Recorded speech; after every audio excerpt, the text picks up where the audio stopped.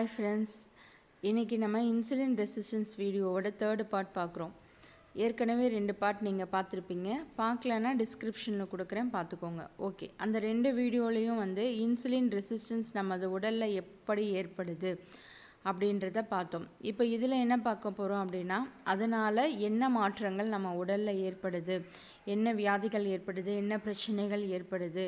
இதை நம்ம எப்படி சரி பண்ணலாம் அப்படின்றத இந்த நம்ம வீடியோவில் பார்க்கலாம். ஓகே ஃப்ரெண்ட்ஸ் இப்போ நீங்கள் ஓரளவு வந்து இன்சுலின் ரெசிஸ்டன்ஸ் எப்படி வருது அப்படின்றத அண்டர்ஸ்டாண்ட் பண்ணியிருப்பீங்க ஓகேங்களா அதாவது நமது உடலில் வந்து போதுமான குளுக்கோஸ் இருக்கும் பொழுது எக்ஸ்ட்ரா வர குளுக்கோஸை வந்து நமது உடல் வந்து ஏற்றுக்க மாட்டேங்குது. அப்போ என்ன ஆகும் அப்படின்னா நமது பிளட்டில் வந்து இன்சுலினோட லெவல் வந்து அதிகமாயிரும்.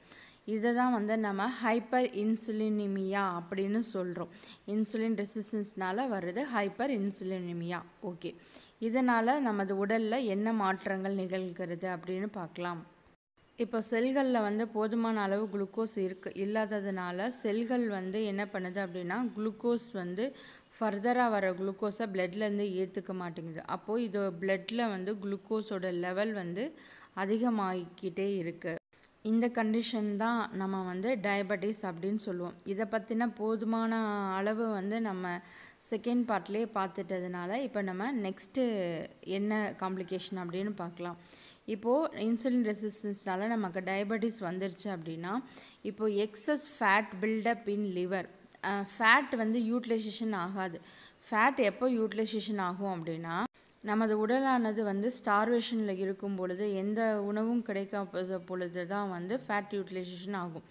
அப்படி ஒரு கண்டிஷன் இல்லாததுனால என்னாகும் அப்படின்னா இந்த எக்ஸஸ் ஃபேட்லாம் போய் லிவரில் வந்து ஸ்டோர் ஆகும். அப்போ நமக்கு என்ன ஆகும் அப்படின்னா ஃபேட்டி லிவர் வந்து வரும்.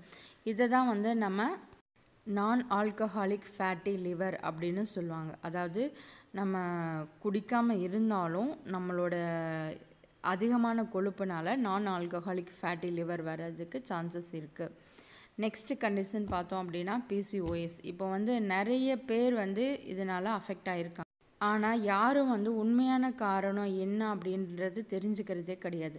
நம்ம சாப்பிட்ற சாப்பாடு தான் இவ்வளோ காரணம் அப்படின்னு வந்து யாராவது ரியலைஸ் பண்ணுறோமா இல்லை.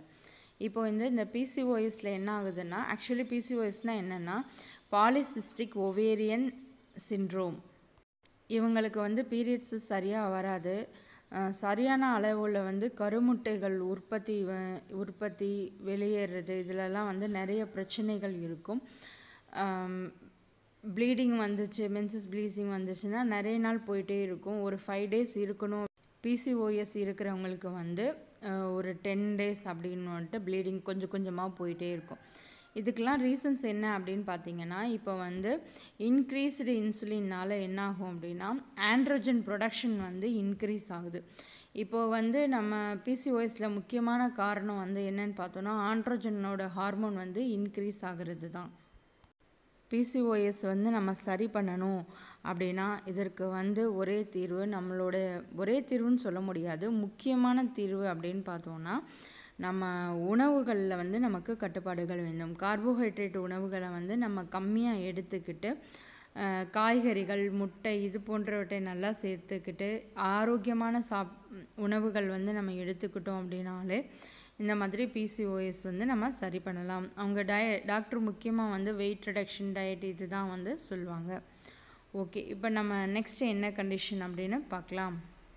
நெக்ஸ்ட்டு கண்டிஷன் இன்சுலின் அதிகமாகிறதுனால என்னாகும் அப்படின்னா இப்போ வந்து சிம் சிம்பத்தட்டிக் நர்வஸ் சிஸ்டம் வந்து ஸ்டிமுலேட் ஆகும். இதனால் என்னாகும் அப்படின்னா சோடியம் ரிட்டென்ஷன் வந்து அதிகமாகும். அப்போ நமக்கு வந்து ஆட்டோமேட்டிக்காக வந்து ப்ளட் ப்ரெஷர் இன்க்ரீஸ் ஆயிரும். இப்படி தான் வந்து இன்சுலின் ரெசிஸ்டன்ஸ் அதாவது ஹைப்பர் இன்சுலினிமியா வந்து நம்மளுடைய பிபியை இன்க்ரீஸ் பண்ணுது. அதனால் ஃப்ரெண்ட்ஸ் எல்லாமே வந்து ஒவ்வொன்றும் கனெக்ட் ஆகி தான் இருக்குது. நீங்கள் தயவு செஞ்சு வந்து புரிஞ்சுக்கோங்க. நெக்ஸ்ட்டு கண்டிஷன் பார்த்தோம் அப்படின்னா இன்அடிக்குவேட் இன் லிப்போலைசிஸ் அதாவது இப்போது ஃபேட் பிரேக் டவுன் வந்து நடக்காததுனால என்ன ஆகும் அப்படின்னா ஒபேசிட்டி வரும். அதாவது ஃபேட் வந்து அதிகமாக அக்குமுலேட் ஆகிக்கிட்டே இருக்கும். அப்போ வந்து நம்ம எனர்ஜி ஃபார் மெட்டபாலிக் நீட்ஸ்னால என்ன ஆகும்னா எனர்ஜி தேவை ஃபேட்டும் வந்து இது இது பண்ணலை பேர்ன் ஆகலை அப்படின்னா நம்ம என்ன பண்ணால் அதிகமான அளவு சாப்பிடுவோம். அப்போ ஓவர் ஈட்டிங் வரும். அதுக்கப்புறமா வந்து எந்த வேலையும் செய்யாமல் இருக்கிறதுனால நம்ம லெத்தார்ஜிக்காக இருப்போம். இப்போ ஹைப்பர் இன்சுலினிமியா அதனால் வந்து இந்த மாற்றங்கள்லாம் வந்து நமது உடலில் வந்து நிகழ்கிறது. இப்போ நெக்ஸ்ட்டு பார்த்தோம் அப்படின்னா இதுதான் வந்து ரொம்ப ரொம்ப முக்கியமானது ஃப்ரெண்ட்ஸ் நல்லா கவனிச்சுக்கோங்க. அத்திரோஸ்க்ளரோசிஸ் அதாவது நம்ம ஹார்ட்டில் வந்து பிளாக் இருக்குது அப்படின்னு சொல்கிறாங்க இல்லையா? இது வந்து எப்படி அந்த பிளாக் வந்து முத முதல்ல உருவாகுது அப்படின்னு பார்த்தோன்னா இப்போ இன்சுலின் ரெசிஸ்டன்ஸ் ஆயிடுச்சுன்னா அதோட ஆக்ஷன் என்னென்ன அப்படின்னா வாசோ கன்சிஷன் பிளட் வெசல்ஸை கன்ஸ்ட்ரிக்ட் பண்ணும். இன்ஃப்ளமேஷன் ஆகும் த்ராம்போசிஸ் ஆகும். இப்போ இந்த இந்த காரணங்கள்லாம் சேர்ந்து என்ன ஆகும் அப்படின்னா அத்திரோஸ்க்ளீரோசிஸை ஃபார்ம் பண்ணும். அதாவது நம்ம பிளட் வெசல்ஸில் வந்து ஓரத்தில் வந்து இந்த இரத்த நாளங்களின் ஓரங்களில் வந்து இந்த த்ராம்போசிஸ் இதெல்லாம் நடக்கிறதுனால சில டெப்ரிஸ் இதெல்லாம் உருவாகி அது வந்து அந்த இரத்த நாளங்களோட ஓரங்கள் சுவர்களில் வந்து படிய ஆரம்பிக்கும். எண்டோத்திலியம் அப்படின்னு சொல்லுவோம். அந்த பிளட் வெசல்ஸில் இருக்கக்கூடிய லைனிங் இதையும் வந்து இந்த டேமேஜ் ஆகும். இது இவைகள்லாம் சேர்ந்து தான் நமக்கு வந்து அத்திரோஸ்க்ளீரோசிஸை ஃபார்ம் பண்ணுது. நண்பர்களே ஒன்று நல்லா புரிஞ்சுக்கோங்க.